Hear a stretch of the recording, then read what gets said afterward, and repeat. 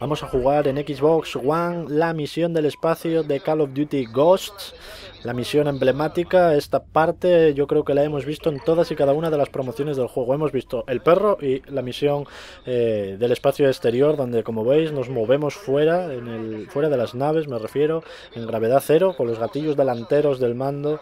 Vamos ascendiendo y descendiendo para movernos en el plano tridimensional que nos, que nos procede cuando estamos en el espacio, ¿no?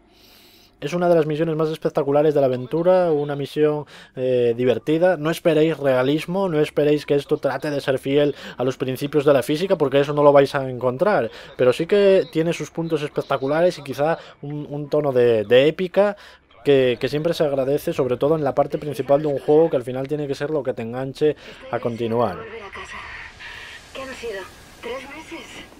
Llevamos tres meses en el espacio, como nos dice nuestra compañera, y parece que ya, como si esto fuese la película de Moon, estamos a punto de regresar a, la Tierra, pero creedme que algo truncará, truncará nuestros, nuestros planes, y es que aquí va a empezar Call of Duty, aquí tiene que haber un conflicto importante que va a ser lo determinante para el resto de la aventura. Y es que si os hablaba de verosimilitud, Aquí tenemos un asalto a una nave eh, del espacio exterior. Esto verdaderamente es una cosa eh, rara y extraña, que nadie vea venir a los asaltantes cuando estamos en el espacio exterior y no hay absolutamente nada a nuestro alrededor, pero acaba de pasar. Entran los atacantes por esa esclusa y se lían a matar gente mientras nosotros tratamos de escapar. Aquí se disparan las alarmas y, comienza, comienza esta, esta misión que es bastante divertida. El rifle viene hacia nosotros y vamos a dispararle en la cara. Para esta entrega de Call of Duty prometían eh, sendos cambios, prometían que iba a haber un motor gráfico renovado, prometían que iba a ser un corte, pero realmente si queremos disfrutar de un Call of Duty de nueva generación, yo creo que por lo menos tendremos que esperar al año próximo. Este es un juego muy solvente, a mí me parece un buen Call of Duty, buen representante de la saga y creo que quien sea fan no va a encontrar decepción ni en la campaña ni en lo que es el, apartado online que funciona tan bien como, como funcionan entregas anteriores. Quien no le guste Call of Duty, quien espere un salto grande en esta entrega, evidentemente eso no lo va a encontrar. El motor gráfico mm, sigue siendo muy similar a lo que hemos visto en juegos anteriores, en Black Ops 2 o en Modern Warfare 3. La versión de actual generación de The Next Gen, vamos a decir, la versión de Xbox One y PlayStation 3 sí que tiene una evolución visual a, lo que nos encontramos en, las plataformas de Xbox 360 y PlayStation 3, pero realmente no es un salto tan acusado como se puede ver en un en un Battlefield, por ejemplo, ¿no? Que ya había una gran diferencia entre la versión de PC de Battlefield 3 y la versión de consolas, y en la versión de PlayStation 4 nos encontramos un acabado muy similar al que tiene el juego de ordenador. Aquí explota todo nuestro alrededor, pero tranquilos porque nadie muere todavía. Nosotros salimos indemnes de este ataque, salimos indemnes de la explosión de nuestra nave. Aquí, nada, rasguños meramente.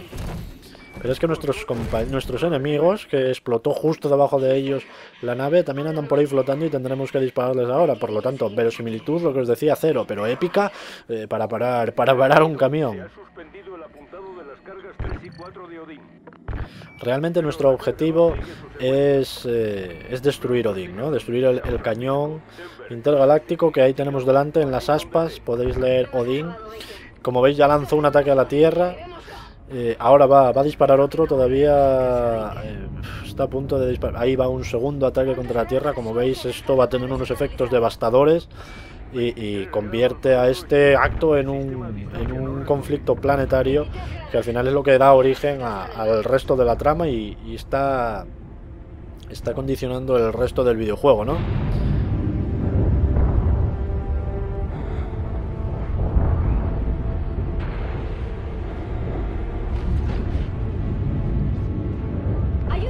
Si en Call of Duty Modern Warfare 2 era la misión de no más rusos, aquella que entrábamos disparando a diestro y siniestro, que fue polémica y polémica en todos los medios generalistas y de todo tipo, la misión emblemática de este videojuego es sin duda esta, ¿no? El espacio, el espacio exterior. Es la misión que, que seguramente recordaremos cuando pensemos en Call of Duty Ghosts no es tan rompedora como aquella misión. A mí me parece más divertido esto que entrar y disparar a diestro y siniestro un montón de gente.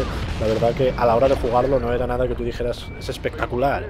En cambio esto sí, esto recuerda a películas de ciencia ficción, quizá no las mejores, pero, pero sí que tiene un punto de épica que a mí es una misión que particularmente me gusta. Pero claro, eh, esto no tiene la misma trascendencia en los medios, no ha sido igual de sonado, no ha supuesto lo mismo que en su día la anterior.